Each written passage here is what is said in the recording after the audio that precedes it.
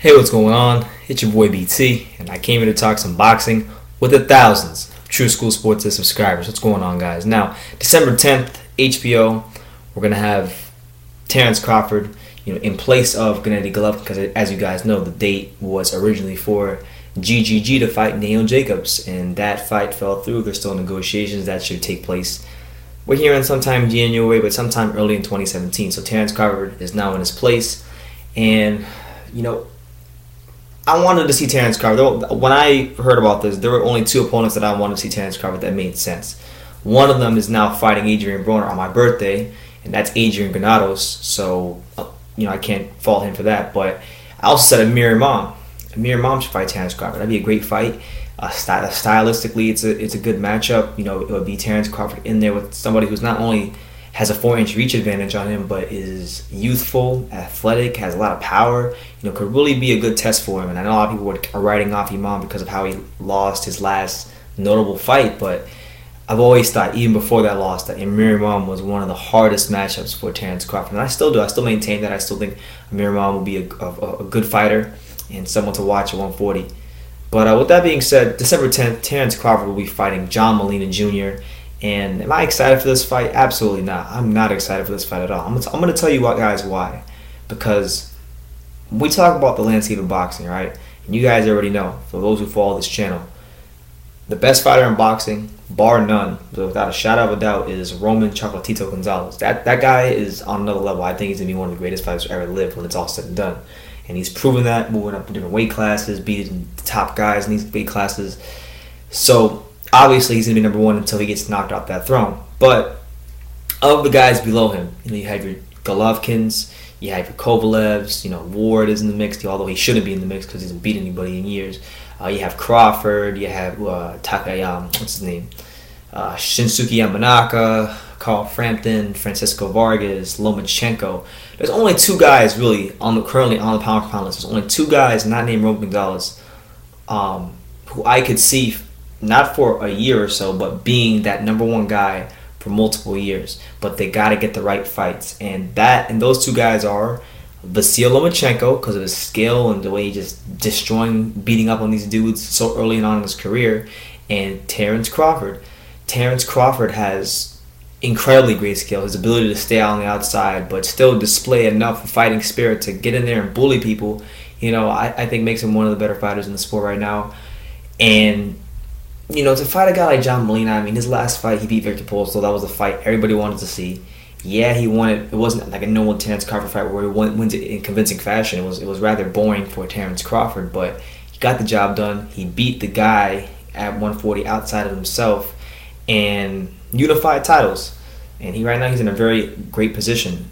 But you know, I thought Amir, the Amir Imam fight. I know a lot of you guys are saying, "Well, why should you fight Amir Imam? Amir Imam lost. Amir Imam doesn't have a chin. Amir Imam." Listen, Amir Imam is a way better fight for him, as far as for the fans, than John Molina Jr. John Molina Jr. Look, I know some of you guys out there think this is okay, and it is. You know, I'll, I'll give it that. I'll give I'll give proper that because Molina is a name. He does have some name recognition, but I mean, honestly, guys, when, you look at his resume, yeah, he he beat Provodnikov in his last fight, but the simple fact of the matter is, John Molina Jr. has not won a significant fight in his career since 2013. You, you would have to go all the way back to, not excluding Provodnikov before that, you would have to go all the way back to 2013 when he fought Mickey Bey, and Mickey Bey was up on the cards, and Mickey Bey was an undefeated fighter. Um, and John Molina was able to stop him later on in the fight. Since then, you know, he's he's gotten two wins against Cans and Jorge Pimentel and Jorge Romero. He's lost to Lucas Matthysse, Humberto Soto, and Adrian Broner, and that's really what his career has been. So I don't think he really has a chance against Crawford. He has a puncher's chance, but skill for skill, there's no way in hell he's to match Crawford. And I watched a recent interview with him where he was saying, "Well, I have a lot of boxing skill, and I have these new tricks that I have never displayed before."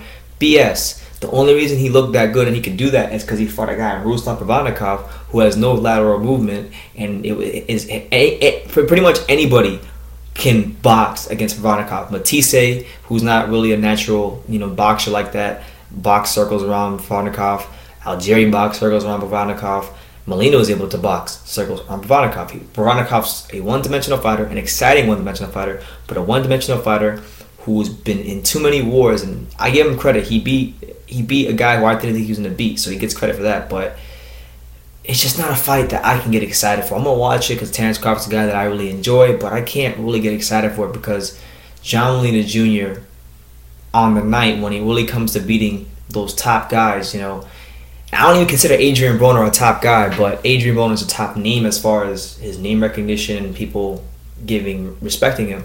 And he didn't he he really laid an egg against Adrian Broner. Like and I'm not talking about like laying an egg as far as like, you know, he just lost. No, I'm talking about like he didn't even like he showed up to that fight. And I know a lot of people who have criticized John Molina Jr. of taking the dive and we're well not taking that but just being paid off because he didn't look like the John Molina we're just seeing. And people have every right to feel that way because really it looked like everything but it looked like everything opposite of what John Molina really is, which is a aggressive fighter who comes who comes who comes for war and goes for broke. Uh, so hopefully he's getting another chance, uh, one more chance than he deserves. Uh, he's getting another chance against the guy at 140. And John Molina Jr., you need to take this seriously. You need to come to this fight. You need to, you know, any anything, any skills that you have never shown before, you need to show in this fight. This needs to be the fight of your life. You need to take it seriously. Do not rest on your laurels.